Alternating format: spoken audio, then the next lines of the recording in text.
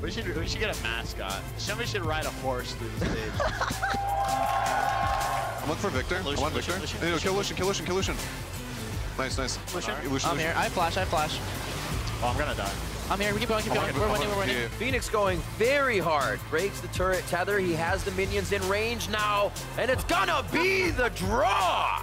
Holy shit. They're going for a jump. I can all this Fucking guy. Hacker him, dude. The 2-0 going over to Liquid as they take down Energy. What were your thoughts immediately after that game when you suffered defeat to CLG? honestly it's, it's a fluke. They're not the better team, not even close. Guys, come on, we're supposed to be way. serious since we lost to P1. I do not recall anything from yesterday. It's like I woke up and we're uh, playing P1 right now. Am I right, guys? Ah, yeah, A loss in our record. Wow, dude. Here comes the rest of the chase. TSM are in. Ninja gonna get caught up. There's another snipe. There's the kill picked up. Hauntzer getting one for himself. And he picks up one already. He's picked up a second. They're maybe turning it back around. A nice double kill for Hauntzer. And that's all she wrote. TSM will make it a 2-0. Kappa, kappa, kappa. Alright, good stuff. Huhi is doing a lot of work along with the rest of CLG. Froggen is shielded, makes it back onto the fountain as Darshan zones him away with the traffic call. Yo, I can look to arrow soon. Just run. I'm running, Jay. I'm airing, airing, airing.